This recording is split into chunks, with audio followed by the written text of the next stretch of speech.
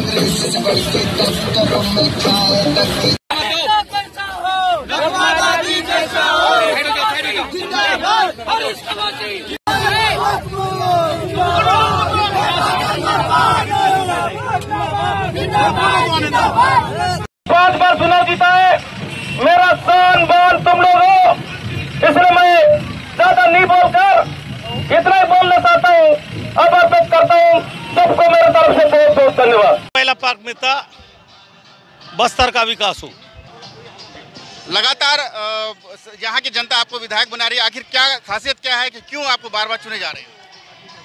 मैं सबसे पहले तो आपके मीडिया के माध्यम से सार आगमन पर मैं इस मंत्री बनने का हमारे राहुल गांधी पर राष्ट्रीय अध्यक्ष माननीय भूपेश बघेल जी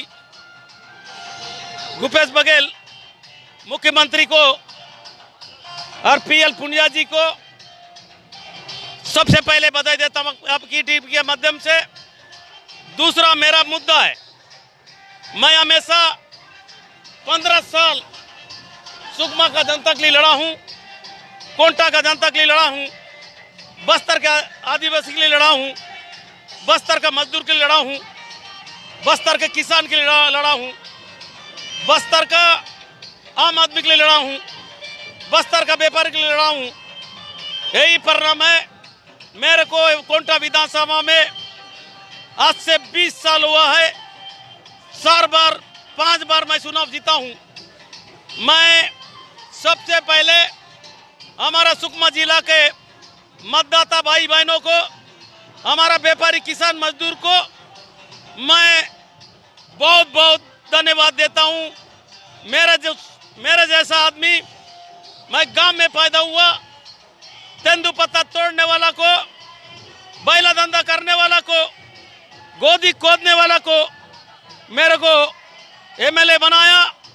एमएलए के साथ साथ हमारा राष्ट्रीय नेतृत्व प्रदेश मुख्यमंत्री भूपेश बघेल साहब, मेरे को इस काबिल सौंपा, दायित्व सौंपा है। मेरा कंधा में बोझ डाला है। मैं उनका पूरा काम बस्तर के बारे में कड़े उतारने का काम करूँगा। हमारा मुख्यमंत्री जो भी मेरे को निर्देश करेगा, जो भी बात देगा, जिस भी बातों को बोलेगा मैं उनके साथ कंधा से कंधा मिलाकर पूरा संपूर्ण बस्तर, सरगुजा, रायगढ़, बिलासपुर, जहाँ भी मेरा मा- काम होगा, उसको पूरा कराने का हमारा हाई कमान मुख्यमंत्री से ले राष्ट्रीय अध्यक्ष मेरे को उस को पूरा करने का पूरा कोशिश करूँगा। पोलावारम बड़ा मुद्दा है। आदिवासी से जुड़ा मुद्दा है।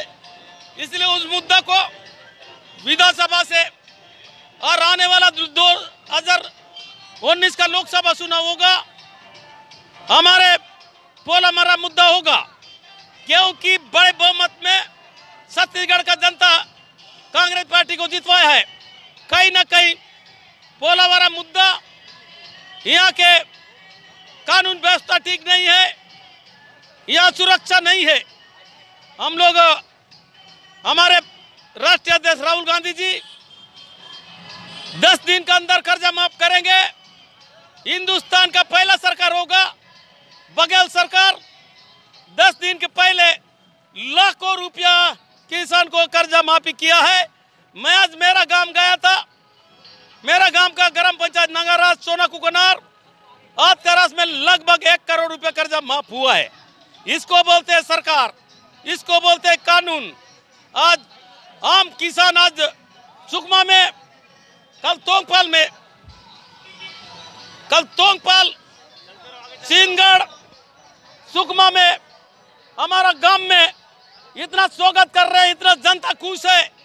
भूपेश बघेल का सरकार भूपेश बघेल मुख्यमंत्री बनने से आम आदमी बस्तर का जनता, बस्तर का किसान, बस्तर का व्यापारी, बहुत खुश है।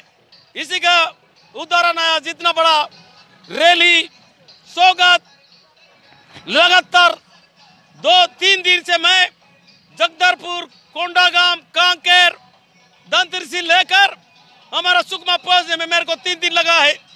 ये स्वागत हो रहा है। कहीं ना कहीं हमारा सरकार के प्रति जनता का मन बन चुका है। अगले लोकसभा कांग्रेस पार्टी 11 का 11 सीट जीतेगा देश का प्रधानमंत्री राहुल गांधी बनेगा। फर्जी नक्सल मामलों में कई ग्रामीण आज भी जेल में बंद है। उनके लेकर क्या कार्रवाई की? हाँ उसका मेरा वो भी एक मिशन है। हम लोग फर्जी जेल में जाने वाला को हमारा मुख्यमंत्री वो छत्तीसगढ़िया है। इसलिए गंभीरता से उस बात को ले रहा है। इसको हम गंभीरता उठा के उसको अच्छा कदम उठाएँगे।